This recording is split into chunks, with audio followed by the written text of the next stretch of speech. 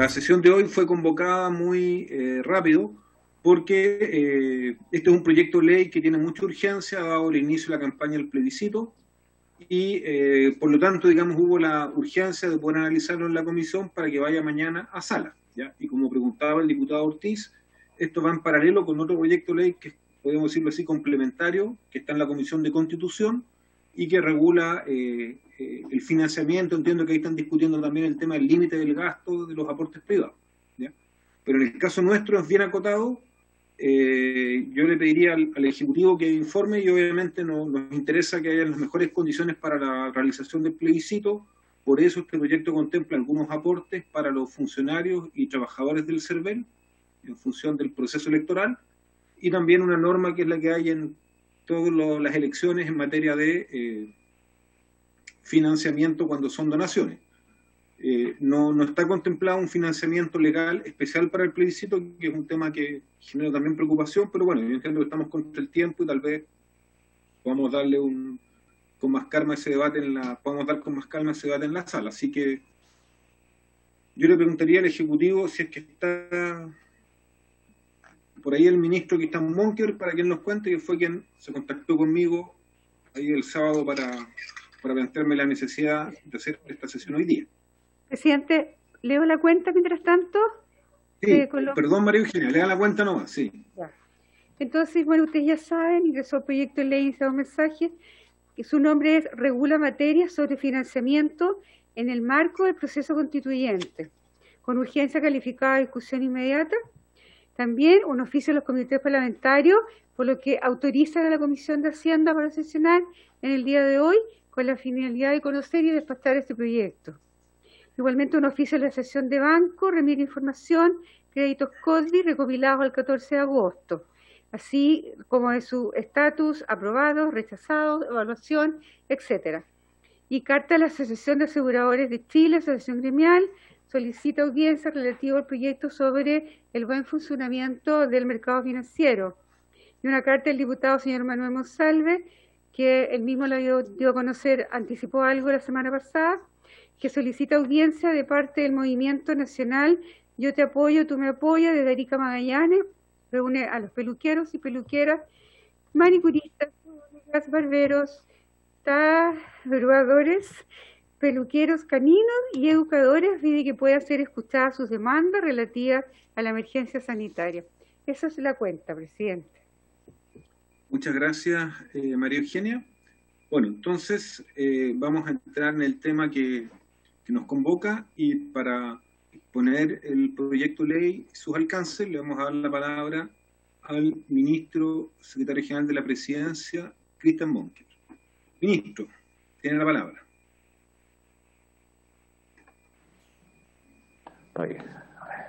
Muy buena Buenas tardes, presidente, diputados, diputadas. Encantado.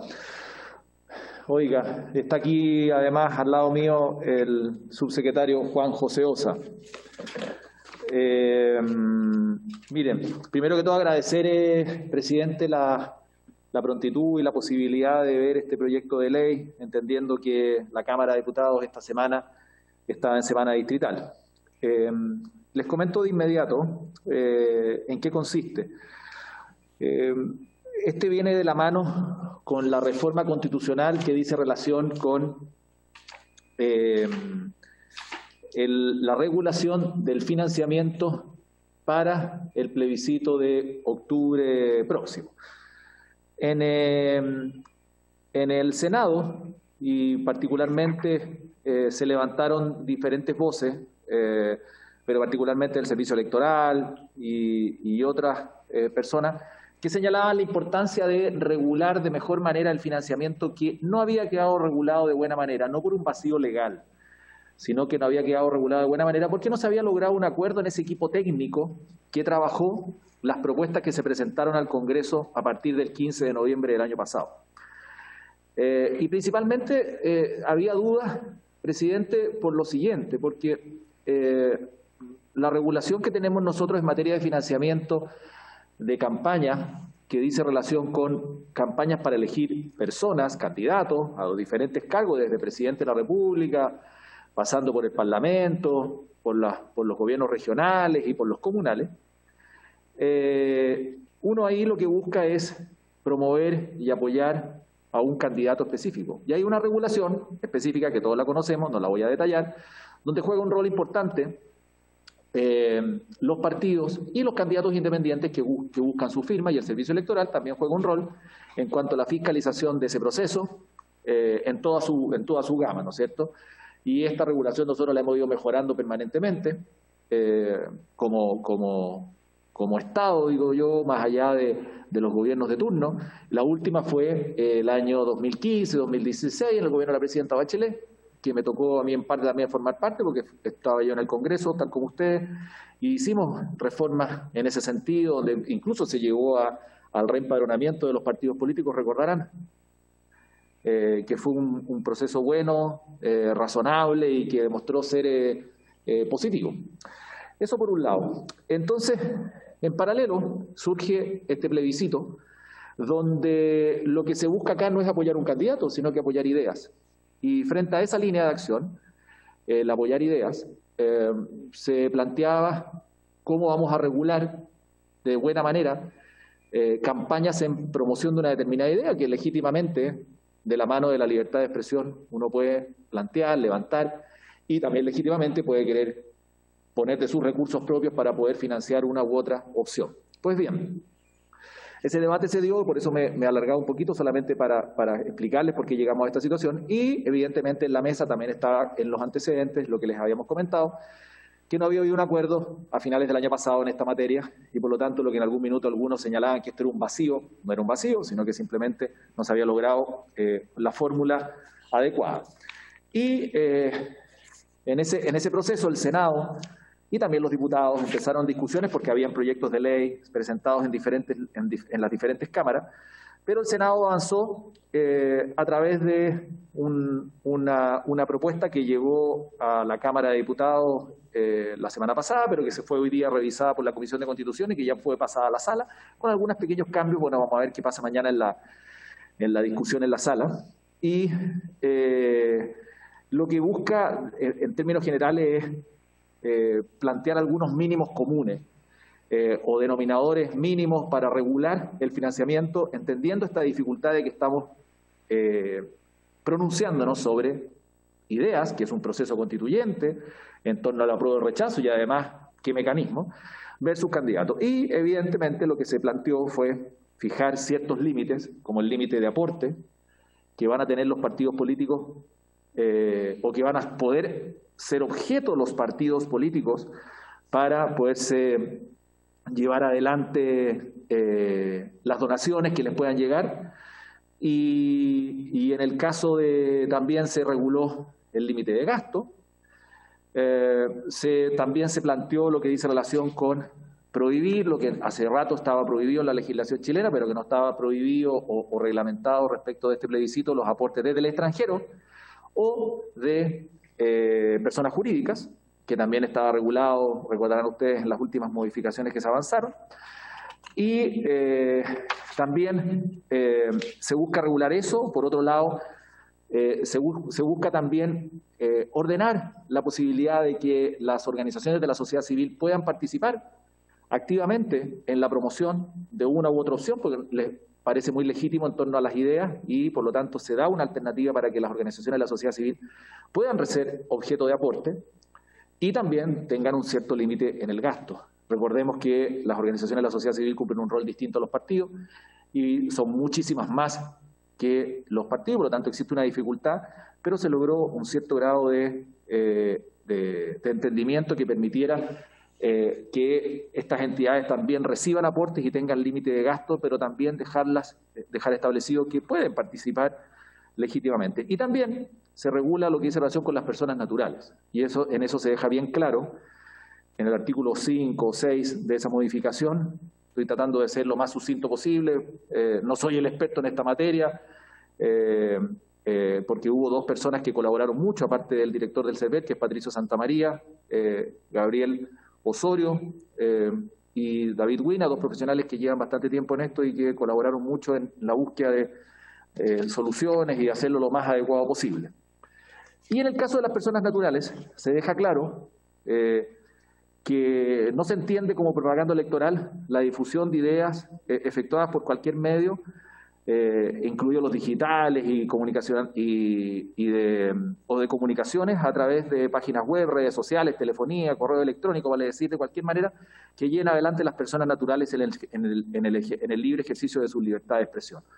Vale decir, pueden hacer lo que estimen, pueden financiar lo que estimen, porque forma parte de la libertad de expresión y si una persona natural quiere eh, poner un cartel en su casa, que lo haga, si quiere financiar una radio por el apruebo, por el rechazo, por la convención mixta o constituyente, que lo haga, si quiere llamar a no votar nada, bueno, está bien, que lo haga, en fin, sin ninguna eh, regulación mayor. La única regulación que existe es algo que ya en parte se hace, es que si esa persona natural contrata una radio, bueno, se sepa eh, eh, que la factura llegue a mano y se publique en una, no la factura, sino que el listado de las personas que están o no están aportando, vale decir aportar en transparencia y eh, lo mismo en caso de redes sociales. En el caso de redes sociales eso ya ocurre porque normalmente ustedes saben que si alguien contrata en Facebook promocionar una publicación, eso ya viene establecido, esta publicación fue financiada fue pagada, no sé, por tal o cual persona, eso ya lo hace las empresas proveedoras de, esto,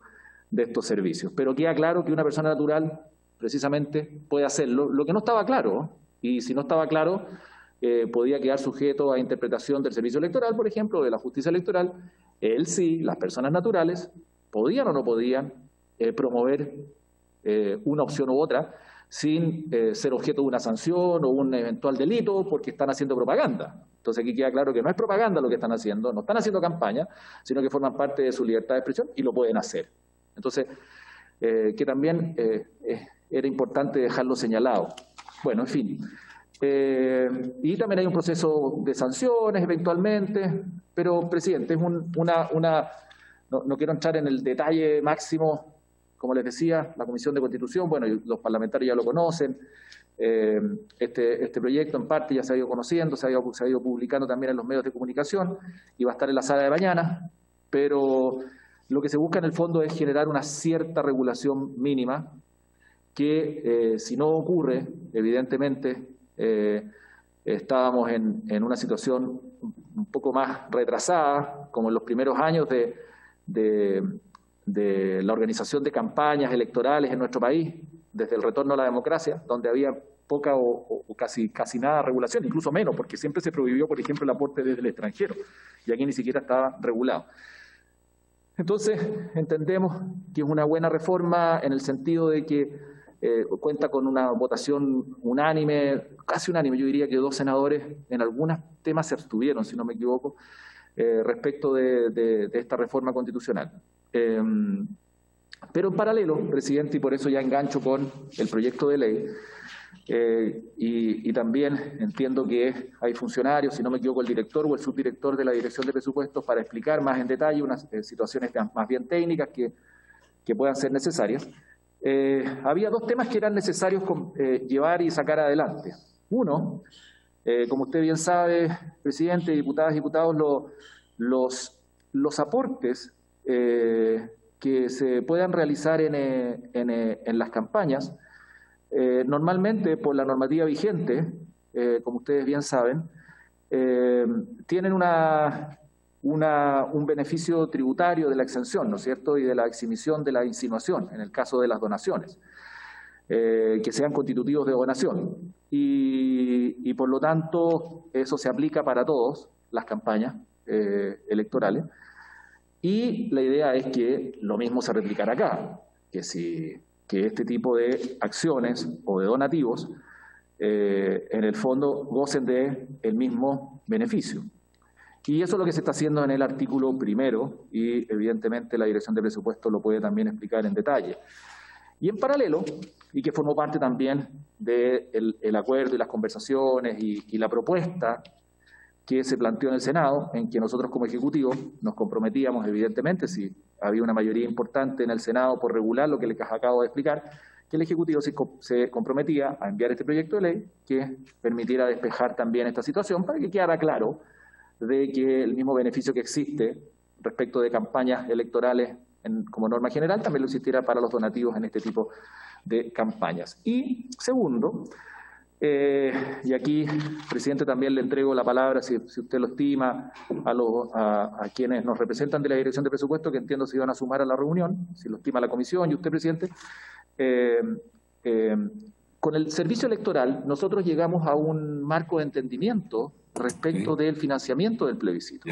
El plebiscito, el plebiscito tiene los recursos, no, solamente el plebiscito, el servicio electoral dispone por presupuesto de recursos aprobados en torno a los 24 mil millones para llevar adelante su actividad, su acción, su, día a día. Y además se le aprobaron aproximadamente como 3.600 millones, no, sé la cifra exacta, pero es aproximadamente 3.600 millones, eh, por el mayor gasto que significara eh, la realización del, plebiscito.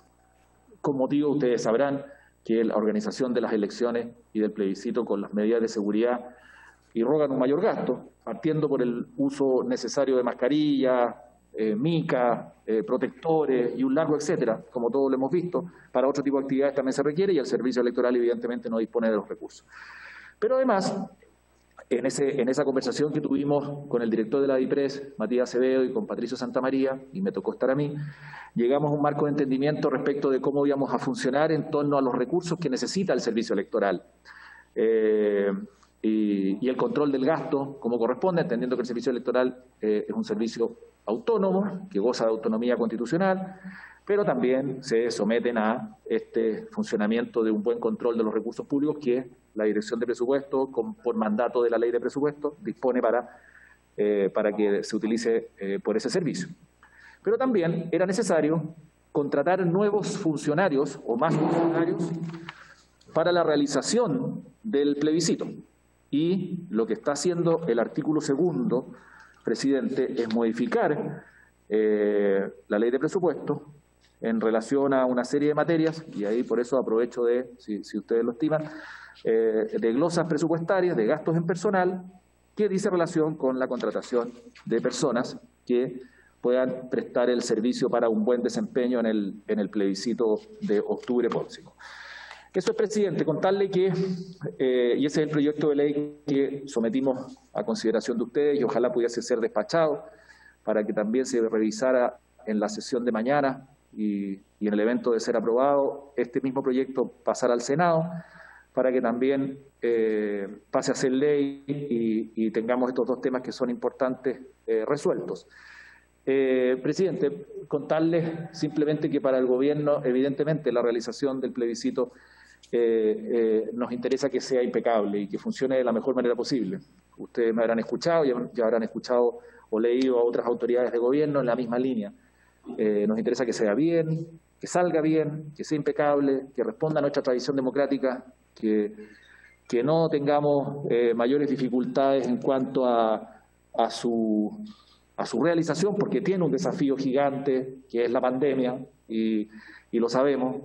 Y, y, por lo tanto queremos, por eso dotamos y ustedes mismos aprobaron las normas que en relación con el plebiscito seguro y queremos que salga y resulte todo bien. Y este proyecto de ley en parte lo que busca también es eso, y que sea un plebiscito informado, que sea seguro desde el punto de vista sanitario y que sea muy participativo, evidentemente. Entonces, eh, eso es lo que yo someto a consideración. Eh, perdonen lo largo, quizás me alargué un poquito más de la cuenta, pero quería poner en contexto por qué estamos llegando con este proyecto de ley, que en parte responde a eh, el financiamiento en su artículo primero y en el artículo segundo responde a eh, otorgarle facilidades para la contratación de nuevas personas en la realización del plebiscito. Presidente, eso es, y si le parece, bueno, también entiendo eh, que está de la Comisión del Ministerio de Hacienda, está su subsecretario, Francisco Moreno, y también entiendo que hay, eh, no sé quiénes están, porque ahí ya lo desconozco, de, parte de... ahí veo a, a, sí, Claudio Martínez, ahí, ahí está.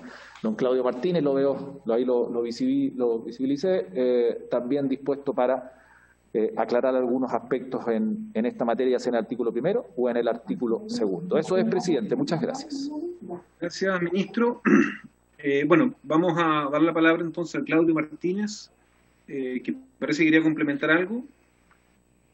Presidente, Solo hacer referencia al artículo segundo, eh, fundamento a lo que señalaba eh, lo que se señalaba recientemente. Eh, el artículo segundo lo que hace es, modificar la ley de presupuestos de este año eh, a objeto de que puedan efectuar los gastos del plebiscito en materia de pagos de viáticos, pagos de las remuneraciones del, o, o, los pagos, más bien dicho, las contribuciones que se le hacen al personal que colabora en este acto electoral, eh, dotar de eh, calidad administrativa necesaria para ser responsable en la entrega de bienes públicos a algunas personas, de eh, materiales y otros enseres.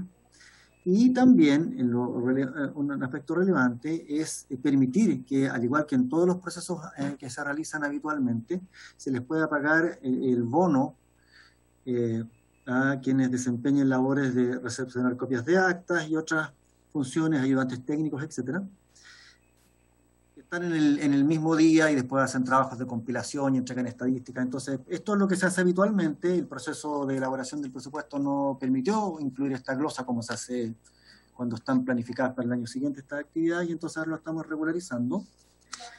Eh, y asimismo, finalmente, eh, permitir que se exceptúen de la limitación que el Congreso eh, nos solicita respecto de los gastos de publicidad y difusión. Hay una cosa que está aprobada en el Congreso, la que dice que no puede excederse, bueno, y en este caso necesariamente se requiere poder salvar ese pequeño obstáculo. Eso es todo, presidente. Muchas gracias. Eh, agradecemos a Claudio Martínez, si no me equivoco, por la dirección del presupuesto, ¿verdad? Sí, como. Por la dirección del presupuesto que estaba especificando por qué había que hacer estos cambios por ley para darle atribuciones al CERVEL para, para actuar en este caso. Yo solo agregar que esto es muy relevante porque eh, también el CERVEL va a tener, me imagino que hacer gasto extraordinario y probablemente aún más disposiciones eh, inusuales para poder garantizar también la salud y las buenas condiciones de quienes van a asistir a votar el día del plebiscito. Por lo tanto, es muy importante que el CERVEL de alguna manera esté reforzado para este acto. Yo lo digo porque probablemente incluso hay un debate de qué va a pasar con la gente que está, eh, digamos, con coronavirus, si va a poder ir a votar, si no corresponde. Yo, bueno, puede que todavía haya espacio para hacer algunos cambios, pero todos entendemos que en esta situación inusual hay que actuar con más flexibilidad y por eso citamos inmediatamente a la Comisión de Hacienda. Me pidió la palabra el diputado Pablo Lorenzini. No sé quién más la pide si quiere hacer alguna consulta. Diputado Ortiz. Diputado Pablo Lorenzini, diputado José Miguel Ortiz. Solo recordarles que el proyecto de ley que nosotros vemos ahora son dos artículos, ya que es muy concreto, a diferencia del de Constitución, que es más amplio que comentó al comienzo el, ministro Monquior, para que nos centremos en la discusión. Diputado Lorenzini, tiene la palabra. Gracias, presidente. Para hacerlo rápido, no le voy a consultar al ministro lo que escuché en la mañana del alcalde Lavín, eso dejémoslo para después. Pero quiero recordar, presidente, que esta es la Comisión de Hacienda. Y me preocupa, en el artículo primero lo entiendo, desde el punto de vista de que habría que calcular el menor ingreso y es complicado. Pero en el artículo segundo, si bien no hay más gasto, sin embargo, sí se van a efectuar, no hay más gasto adicional, pero contra el presupuesto se van a efectuar gastos. Hay una serie de contrataciones, bonos, etcétera. No me parece que no tengamos una estimación de aquello. O sea, yo no estoy disponible para dar un cheque en blanco ya en esta época, ¿no es cierto? Y que se gaste lo que sea. O sea, debería haber un plan. Tantos vamos a contratar con tanta plata, tanto vamos a gastar acá, lo que usted decía, para efectos de salud tenemos un fondo de tanto, etcétera pero no puede ser que llegue a la Comisión de Hacienda sin ningún número en genérico. Yo al menos no estoy de acuerdo y le pido votación separada del artículo segundo al respecto si es que no tenemos números y no tenemos alguna explicación, o por lo menos de aquí a mañana.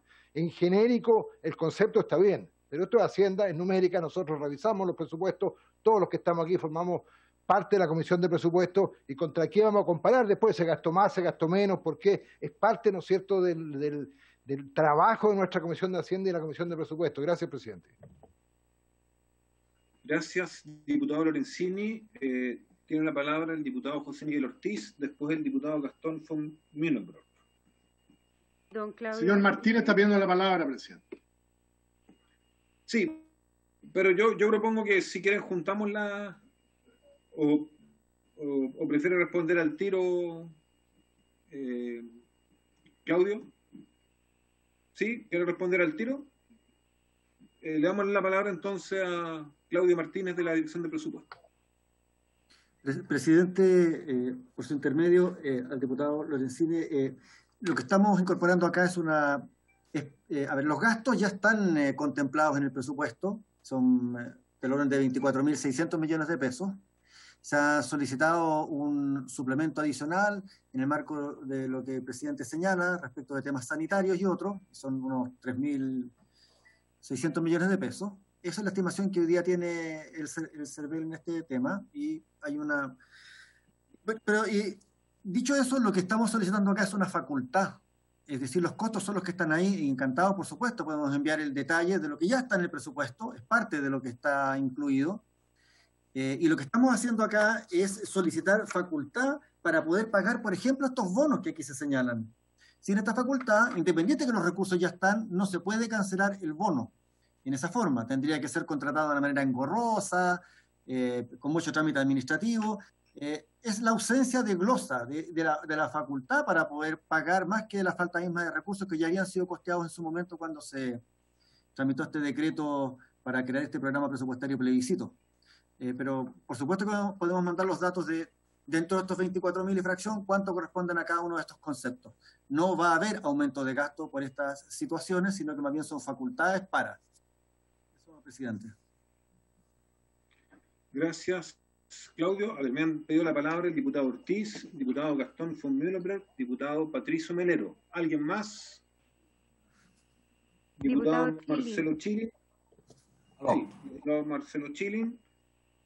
Eh, ya, vamos a partir con las palabras. Diputado Ortiz. Aló. A ver, señor presidente, colegas, colegas parlamentarios, colegas parlamentarios, señor ministro Monkever, como también el representante de la Dirección de Presupuesto, como también la señora Mabel Profesional de la Dirección de Presupuesto de muchos años. Estimados colegas, este tema que tiene que ver con el servicio electoral, cada año que hay proceso eleccionario hemos tomado las medidas respectivas. Este año nadie adivinaba la fecha del plebiscito, que al final culminó. Eh, yo lo que quiero plantear lo siguiente. Yo tengo claro que con el presupuesto que nosotros aprobamos para este 2020, están las platas suficientes para todo lo que signifique, en este caso, darle la facultad al CERVEL para contratar todo el personal honorario que sea pertinente para que el plebiscito sea ejemplar. Y en eso creo que estamos todos de acuerdo y también casi el 90% del país. ¿Por qué lo, lo recalco? En el artículo segundo, porque los dos artículos son nuestros de la Comisión Técnica, se clarifica y lo hizo más todavía don Claudio Martínez por la dirección de presupuesto. Pero esto es necesario. Si nosotros no aprobamos la modificación de la ley de presupuesto de la nación, la 21.192, no podrían hacer uso de sus fondos. No tendrían ninguna posibilidad de hacerlo.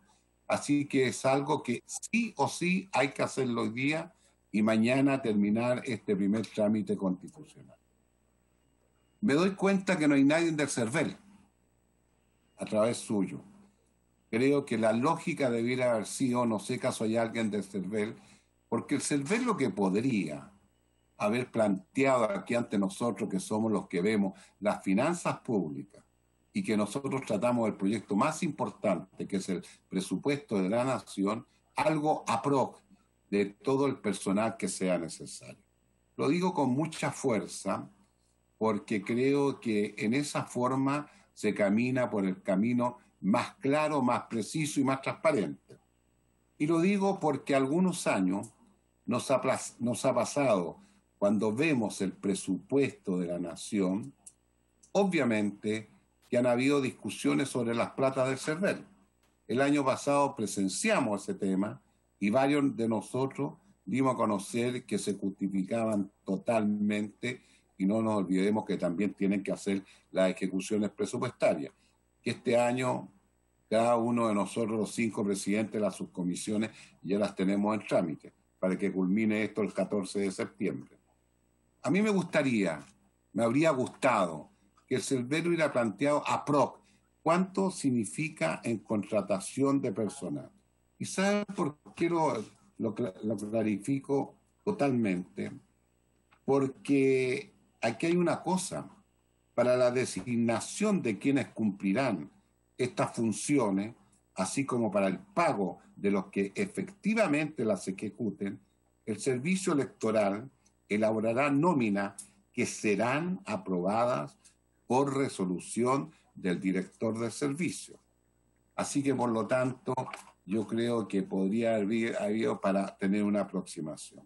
Y yo quiero dejar claro también que estos respectivos bonos, que por un lado es de 4 UF, por otro lado de 2,5 UF, depende de las labores, lo de las 4 UF son para la labor de recepcionar las copias del acta de las mesas señaladas en el inciso sexto del artículo 71 e incorporar los resultados del sistema computacional en los términos señalados en el artículo 83. Un bono equivalente a 2,5 F para cada uno de sus ayudantes técnicos. Y los bonos antes mencionados se pagarán por las tareas realizadas en cada acto electoral corresponde a ejecutar durante el año 2020. Y quiero recalcar y reiterar, porque a veces es preciso hacerlo, que el bono no constituirá remuneración o renta para ningún efecto legal y en consecuencia no será imponible ni tributable y no estará afecto de descuento alguno. Yo estoy totalmente de acuerdo con este articulado de dos que son netamente de la Comisión de Hacienda. Estamos todos demostrando que queremos que sea lo más ejemplar, como siempre han sido nuestras elecciones en nuestro país, lo del 25 de octubre. Pero habría sido bueno en que en este caso alguien hubiera ido de Cervel y hubiera planteado a PRO, a no ser que esa información la tenga la dirección de presupuesto y que la dé a conocer como una información más. Pero yo voy a apoyar absolutamente en general y en particular estos dos artículos. He dicho. Gracias, diputado Ortiz. Tengo anotado el diputado Gastón von Mühlenberg, diputado Melero, diputado Marcelo Chirin, diputado Leopoldo Pérez. Diputado Gastón. Gracias, presidente. No sé si se escucha. Sí. Gracias. Eh, bueno, en la, en la misma línea, eh, bueno, mi colega Ortiz habló gran parte de cuál era mi preocupación. Saludo al, al ministro y al subsecretario presente, al, representante de la dirección de presupuesto. Lamento sí que no haya nadie del CERVEL, me hubiese gustado que estado el director del CERVEL, pero tomando las palabras del ministro, necesitamos que esto sea un plebiscito impecable, dijo él, y estoy totalmente de acuerdo con él, pero yo le agregaría y totalmente transparente para toda la ciudadanía, que es lo más importante. Y en, el sentido de, la, de lo que señaló el, diputado Pablo Lorenzini, yo estoy absolutamente de acuerdo con él en que no podemos, por el bien, digamos, del, del referéndum, me refiero, digamos, no podemos aprobar un cheque en blanco aquí. Aquí lo que tenemos que aprobar es cómo se conformaron esta cantidad de gastos, si está en el presupuesto, solamente lo tienen porque por algo tienen, llegaron a esa cifra, pero sería muy bueno para la Comisión de Hacienda que usted preside poder tener la mayor cantidad de información, sobre todo de la contratación de personas, de cuánto tiempo van a durar en, esos cargos, cuánto se le va a pagar, cómo se van a nominar. También me interesa mucho el tema regional, cómo se distribuye esto a nivel regional. No me gustaría que después tuviéramos problemas de centralización también de los recursos. Y, yo creo que sería muy conveniente para que también se pueda dar a conocer mañana en la sala de la Cámara de Diputados, eh, por lo menos esta información totalmente desagregada a nivel, digamos, de, regiones, los montos y cómo se, y cómo se construyó esa, esa arquitectura para poder eh, contratar a esas personas. De lo contrario, yo estoy de acuerdo con el diputado Cine. O sea, como Comisión de Hacienda diríamos, no quiero tener problemas mañana en que diga cómo aprobaron esto y no sabían lo que estaban aprobando, digamos, y encontrarnos con, problemas, digamos, de contrataciones que, que, no fueron bien hechas o que la plata se quedó en Santiago, no sé. Eh, esto es, como por ahí también lo dijo el ministro, es un plebiscito muy complicado porque estamos con una pandemia, no es algo normal. Entonces aquí se va a incurrir en muchos gastos diferentes a un, a un proceso eleccionario a lo que estamos acostumbrados.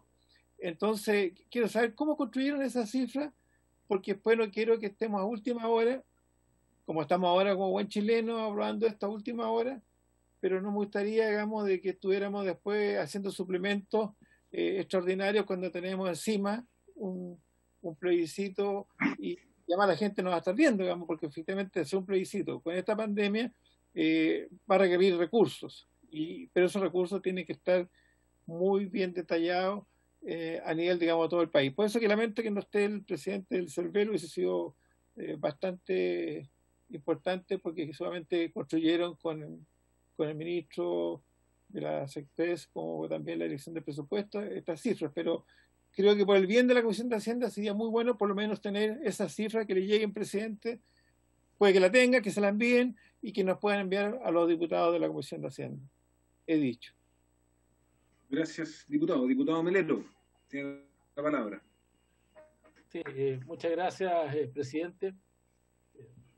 Bueno, este proyecto, que, justamente lo que hace es otorgar este financiamiento que va a ser del orden de 30 mil millones de pesos.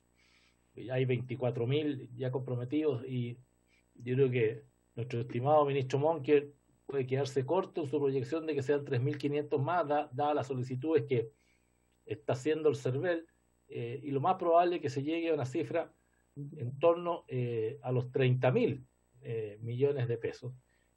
lo que llevado al valor dólar de hoy día, estamos hablando aproximadamente de 37 millones y medio de dólares.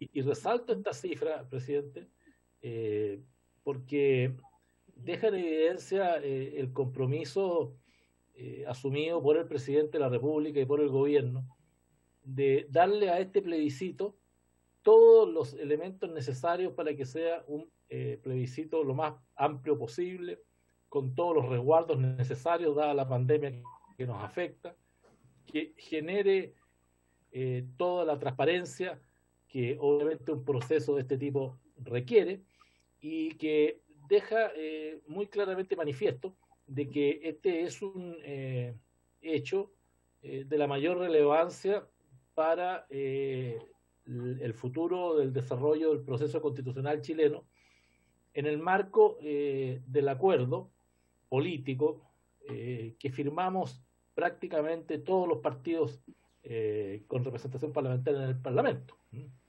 yo lamento los que se marginaron de ese proceso, pero yo quiero resaltar que aquí hay un compromiso político y financiero en términos de lograr eh, el buen resultado eh, de este proceso y creo que eh, las modificaciones que se introducen en una materia que está no está regular nuestra constitución, por eso los artículos 130 y 142 innovan en este sentido de esta materia. Otro tema que se está viendo en la, en la Comisión de Constitución es sin duda eh, la reforma constitucional que va a regular el financiamiento de la propaganda de las campañas para el plebiscito constituyente, que es otro tema que yo entiendo que no va a pasar por Hacienda, porque no, no, no hay ahí eh, gasto público, ¿no? sino que más bien la regulación de los aportes de los privados institucionales.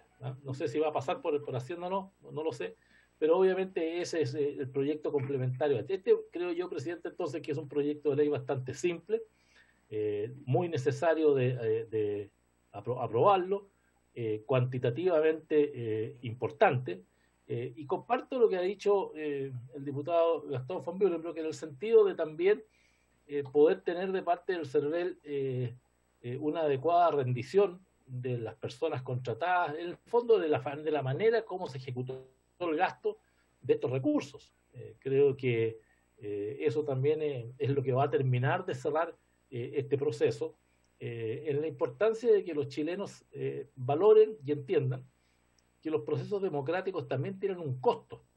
muchas veces se denosta la democracia, se denosta a las organizaciones políticas, se denosta a, quienes están preocupados de estas situaciones. Y yo creo que es bueno y relevante que esto se conozca con el detalle completo, eh, porque eh, creo que es relevante para justamente el buen funcionamiento de la democracia el que se comprenda que eh, ella implica un costo y destinar recursos económicos y humanos al buen cumplimiento de este cometido. Así que, sin más, obviamente nosotros vamos a aprobar esta iniciativa, presidente, y agradezco el envío de este proyecto de ley.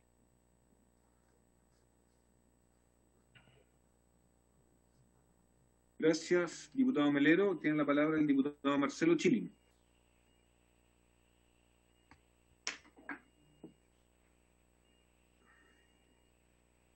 Gracias, presidente.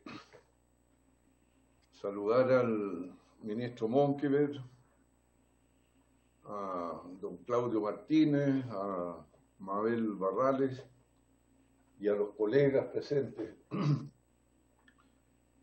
Eh, antes de integrarme a la sesión, señor presidente, pasé a consultar a una persona que el ministro Monque conoce bien y siempre me asesora. Antes me asesoraba en Constitución, ahora me asesora en Hacienda. Me ha pedido que guarde reserva de su identidad. Y el consejo que me dio esta vez es el que me había dado la primera vez que me aconsejó. Y me dijo, diputado, lea los proyectos antes de entrar a las sesiones. Así que estoy leyendo los proyectos desde ese tiempo. Y aquí, señor presidente, lo que nos están pidiendo es que legislemos uno para regular el gasto electoral en el plebiscito, cosa que explicitó ampliamente el ministro Monker y que uno podrá juzgar en su mérito si favorece o desfavorece o a quién favorece. Eh, pero en realidad, en cuanto a gasto fiscal, salvo la deducción de impuestos que conllevan las donaciones, no tiene otro impacto en las finanzas públicas. Y en el segundo artículo, lo que se hace es introducir modificaciones en la ley 21.192 de presupuesto del sector público correspondiente al 2020 en la partida 28, servicio electoral capítulo 01, servicio electoral capítulo 01, programa 04. Plebiscito, de manera de hacer extensivas las glosas aplicables al programa correspondiente a las elecciones municipales al plebiscito. Ya sabemos que las elecciones municipales van a tener que ser financiadas en el presupuesto del próximo año porque este año no hubo. Luego, esto no irroga mayor gasto fiscal. Ello no obsta, sin embargo, a mi juicio, que como lo planteó el diputado Mon que se pudiera entrar eh, en detalle de cuál es la estimación que se necesita de personal adicional, eh, que tal vez sea bastante correspondiente o un poco más a lo que requiere el servicio electoral cuando hay elecciones municipales. Y bueno, no sé si ahí el Ejecutivo puede eh, dar alguna respuesta mayor, porque lo que dice el artículo segundo, al modificar la ley que comentamos, 21.192, dice que con estos en, en, la 01, con estos recursos se podrá contratar personas a honorarios sin sujeción a las visaciones dispuestas en el artículo quinto de la ley número 19.896, los que podrán tener la calidad de agente público para todos los efectos legales, incluida la responsabilidad administrativa y penal que pudiera derivar del ejercicio de tales funciones. Adicionalmente, con estos recursos se podrán pagar viáticos y horas extraordinarias. El personal dispuesto por el Servicio Electoral para el cumplimiento de lo establecido en el artículo 83 y 185 de la Ley sobre Votaciones Populares y Escrutinio, cuyo texto fue refundido, percibirá lo siguiente, un bono equivalente a 4F, como ya se dijo, y los otros recibirán un bono equivalente a 2,5 UF, los que se pagarán por las tareas realizadas. Bueno, siendo así eh, de sencillo y además de urgente y necesario, yo anuncio que voy a votar en eh, general y en particular a, favor de este proyecto de ley. Lo haría con mucho más felicidad si el ministro Monque nos anunciara ahora de que el fisco, por razones de la pandemia, va a financiar que la eh, locomoción pública sea gratuita el día del plebiscito y que se la programará de tal manera que haya fluidez en el traslado para que no haya concentraciones innecesarias que pongan en riesgo la salud de las personas.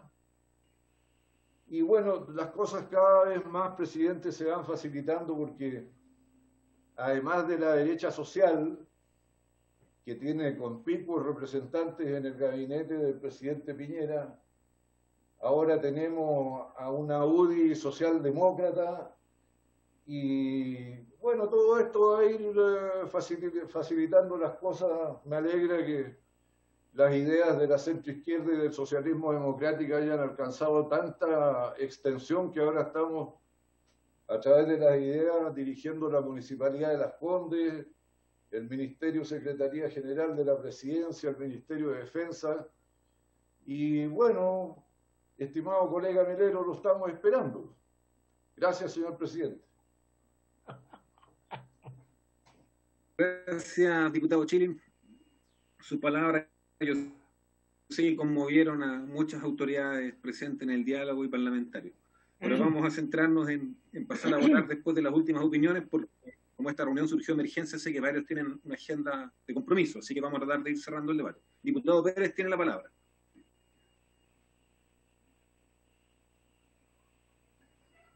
Gracias, presidente. Saludar al ministro, a todos nuestros invitados, a los colegas, a la secretaría. Mire, la verdad es que este es un proyecto bien especial porque dice que va a tener un costo de 24 mil millones, pero que es presupuestario, eh, que estaba ya en el presupuesto, por lo tanto eh, lo adicional sería del orden de los 6 mil millones, entiendo, para eh, complementar el mayor gasto producto de las condiciones de pandemia que estarían enfrentándose en el mes de octubre todavía, porque pensar lo contrario es iluso. Y concordando con algunos que me han antecedido la palabra respecto al detalle que el CERVEL tendría que haber eh, entregado, o por lo menos haber informado a esta comisión, respecto a cómo van a hacer sobre todo ese mayor gasto, porque yo entiendo que los 24 mil millones presupuestarios eran las elecciones, el presupuesto que se aprobó el año pasado para este año con elecciones de gobernadores en octubre, con elecciones de, de alcalde, o sea, no era un mayor gasto respecto de eso, la parte operativa. El mayor gasto va a estar dado por las condiciones de pandemia y que se hace justamente en el mes de octubre de este año, pero con menores, eh, debiera haber una locura porque no se eligen tantas autoridades como se están eligiendo al momento que se aprobó este presupuesto 2020. Y eso quisiera, por si medio presidente, preguntarle a don Claudio si ellos tienen algún estimado, ya que vamos a votar hoy día y no hay nadie del CERVEL, si ellos tienen un estimado más o menos el tema del gasto de, cómo se va a, gastar, por así decirlo, los 6 mil millones adicionales, porque el otro ya está la ley de presupuesto, y que estaba contemplado las elecciones que iban a haber, que ahora se chutearon. Seguramente en el presupuesto 2021 van a aparecer de nuevo esos gastos de, del 2020, pero, pero los adicionales. Eso me gustaría, si es que, eh, por si medio presidente, don Claudio, tiene algún mm. grado de conocimiento, me imagino que sí, ya que no tenemos representante CERVEL y tenemos que votar hoy día querámoslo o no, porque estamos a puertas de iniciar la famosa campaña del plebiscito de octubre. Eso, presidente, gracias. Gracias, diputado Pérez. Vamos a dar nuevamente la palabra entonces a Claudio Martínez, eh, representante de la Dirección de Presupuesto. Presidente, eh, por su intermedio, eh, vamos a hacer llegar de todas maneras una minuta. vamos a trabajar con el CERVEL a objeto de identificar el detalle, el número de personas, distribución regional, la forma como se ha solicitado hasta este momento. lo segundo es que la estimación, a propósito de la el diputado Pérez, eh, la estimación de mayor gasto esperado, adicional, como nos pregunta, por temas COVID fundamentalmente, eh, están en el orden de los 6 mil millones de pesos en total. En total. Ya tenemos una primera definición bien precisa eh, de una primera parte y la segunda está todavía terminando de ajustarla en detalle el servicio electoral. Eso, presidente. Gracias. Bueno, mira, respecto a, los aspectos formales que con mucha razón señalaba el diputado Lorenzini, yo solo quiero clarificar que el proyecto de ley viene acompañado del informe financiero número 142. ¿ya? Por lo tanto, en términos formales, este proyecto de ley se presentó con informe financiero y en el informe financiero se consigna que esto no irroga mayor gasto fiscal. Eh, sí, por supuesto, hay una explicación que dio Claudio Martínez de la Dirección de Presupuesto, que van a tener que eh, hacer gastos que ya tienen contemplado o que van a poder reasignar por 6 mil millones de pesos extra y él tiene el compromiso de elaborar una minuta, que es muy importante, Claudio, que esté disponible mañana, elaborar en conjunto con el CELVER, perdón, detallando eh, cómo serían estos gastos, su distribución por regiones, para darnos a todos la tranquilidad que en nuestras regiones vamos a tener eh, los recursos que se requieran para eh, hacer estas adecuaciones que implican la situación de pandemia. Entonces, yo lo que propongo es que, teniendo presentes esas consideraciones, que entiendo responden de alguna manera a las inquietudes del diputado Lorenzini, podamos pasar a votar el proyecto de ley, porque la verdad que el grueso del debate, eh, en otras consideraciones, podremos darlo en la sala, pero la verdad es que como esto fue una reunión de emergencia y todos entendemos que hay que darle condiciones a la gente de resguardo de salud para que vaya a votar, eh, es muy importante que aprobemos y así permitamos que se preparen los documentos para la sesión de mañana, porque igual la Secretaría tiene que irse trabajando, María Eugenia, Erika, eh, Sebastián también, que sabemos que ha estado ahí desde a distancia participando activamente en todas las sesiones de Hacienda. ¿Les parece entonces? Pasamos a votar. Yo le pediría a María Eugenia que tome la votación en una sola votación, todos juntos. Una sola, una, pero antes de eso. Perdón. Antes de eso. Diputado Ortiz, ah, sí. No, muy preciso.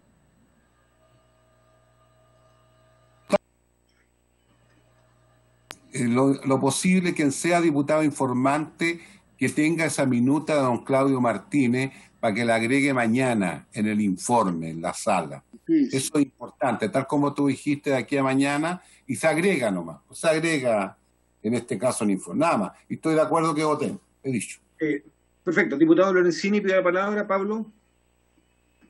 Sí, yo le había pedido votación separada. Voy a retirar eso, pero sí con el compromiso de Claudio, del ministro, ¿no es cierto? Y esperamos que esto se cumpla, porque si no, evidentemente mañana nos sentimos liberados. Vamos a dar este pase, pero hasta tener esa información, presidente. Así que libero la votación separada.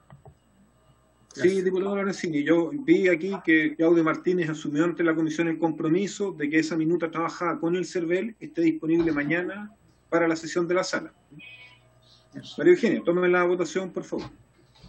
Señor presidente, lo primero que quiero precisar es que este es primer trámite, que no se confundan con el proyecto de reforma constitucional, que ese sí que viene segundo trámite y ha sido despachado por la Comisión de Constitución. Este es el primer trámite, primer informe, porque se trata de tributo, exención, por lo tanto corresponde a la Comisión de Hacienda y que ingrese por la Cámara de Diputados. Primer trámite constitucional.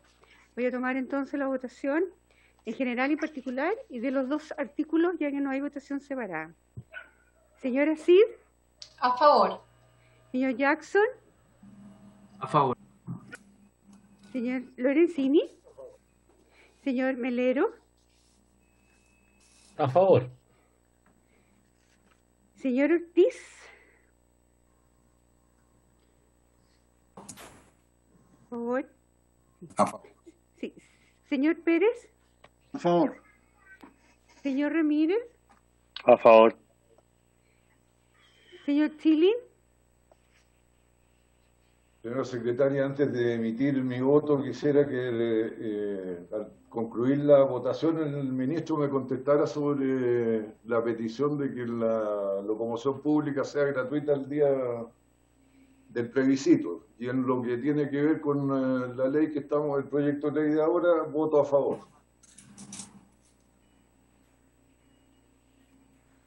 Señor von Mühlenbrock.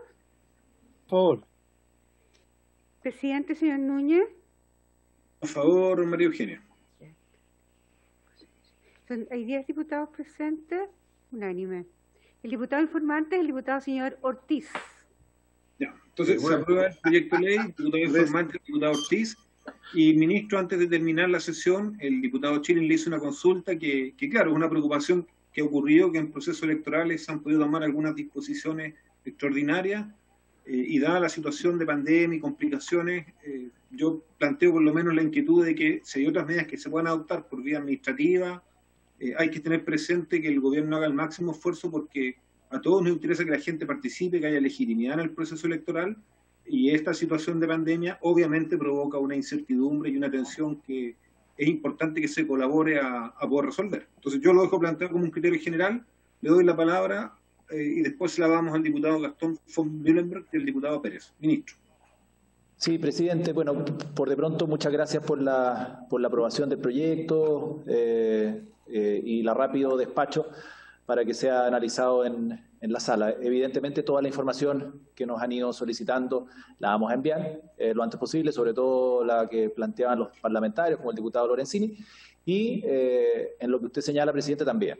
Este, lo, que, lo, que, queremos como gobierno es empujar este, este plebiscito de la manera eh, más participativa posible, facilitarle la vida al máximo al servicio electoral con quien estamos trabajando de la manera más coordinada posible. Este proyecto responde a lo mismo, sobre todo su artículo segundo, eh, y todo lo que sea necesario desde el punto de vista administrativo, eventualmente legal, que no creo, pero si fuese algo también administrativo, en lo que dice relación con facilitar la ejecución del plebiscito, es lo que nos pidió el presidente. La idea es que sea masivo y que resulte impecable. Así que, presidente, tomamos nota de lo que usted y otros parlamentarios nos han planteado. Muchas gracias.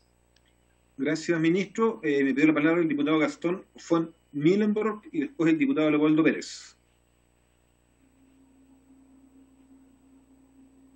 ¿Escucha, presidente? Sí.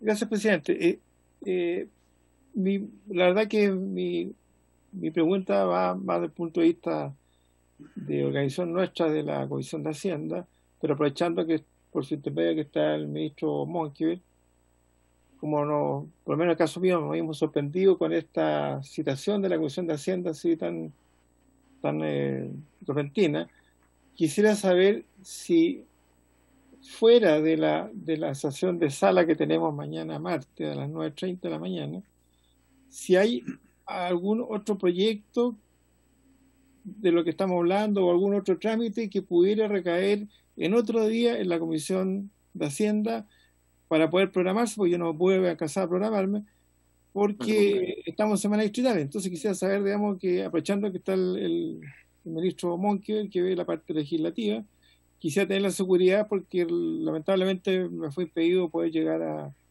al Congreso Nacional en Valparaíso. Gracias, presidente. Gracias, diputado. Eh, diputado Pérez. Gracias, presidente.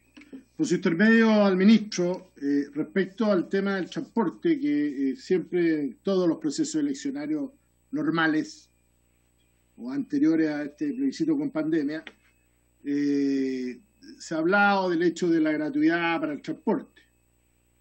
Pero yo creo que hoy día, el, justamente el transporte público hoy día es uno de los vectores más importantes de contagio económico. Entonces, ojo con eso habría que chequearlo con, con la parte de salud, digamos, entiendo que el CERVEL está viendo esos protocolos para que salga todo con la mayor seguridad posible, pero yo pienso que habría que ser un poquito más cuidadoso con el tema del contagio, que no vaya a ser cosa que el problema no esté en los locales de votación, sino que esté antes. Entonces habría que evaluar bien el tema de eh, la gratuidad, porque ahí sí que y ver qué medidas tomar dentro del transporte público. No olvidemos que no solo es metro, no solo es Santiago, es en todo Chile. Esto así que hay que verlo con, con, bastante cuidado en este, en este particularísimo caso, con esta pandemia. Ojo, porque el vector importante de contagio son los sistemas de transporte.